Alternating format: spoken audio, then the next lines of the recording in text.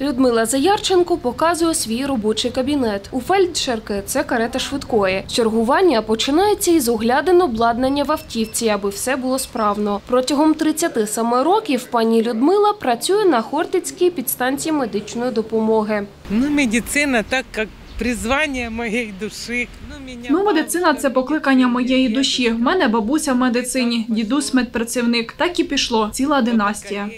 У 19 років Людмила Заярченко почала свою професійну діяльність. Нині за плечима 49-річний досвід роботи. Було моє перше дежурство на должности врач скорой помощи. Було моє перше чергування на посаді лікар швидкої допомоги, і мені дали фельдшера Людмилу Сергіївну. Вона так показувала, як потрібно працювати, що я цю службу полюбив протягом 24 годин роботи з нею. Вона мені одразу більш детально розповіла наші задачі та показала практичні навички. Переконала мене, що не потрібно шукати іншу професію.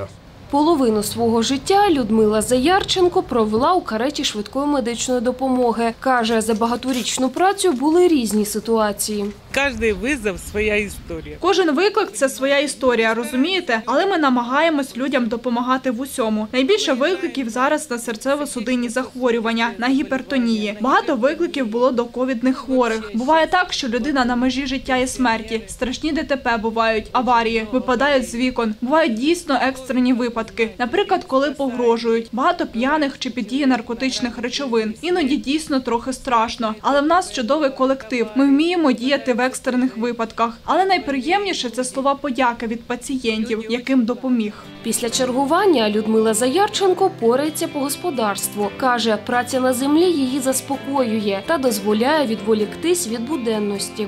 У меня есть дача, внуки есть. В мене є дача, онуки є. На дачі вирощує квіти в мене, овочі, фрукти. Консервую потім. Це мене заспокоює і дає можливість розслабитися. Але найбільший мій заряд оптимізму це моя родина. Вони надзвичайно підтримують мене. Знаєте, у нас зміни і вдень, і вночі. Буває надзвичайно важко фізично і морально. Такі важкі бувають пацієнти. Як надивишся, але коли приходжу додому, все минає. Там моя сила і спокій. У свої 68 років Людмила Заярченко не збирається полишати професію. Каже, незважаючи на усі труднощі роботи фельдшера швидкої, хоче і надалі допомагати рятувати життя людям. Олена Чаркун, Вадим Тимченко. Новини на Суспільному. Запоріжжя.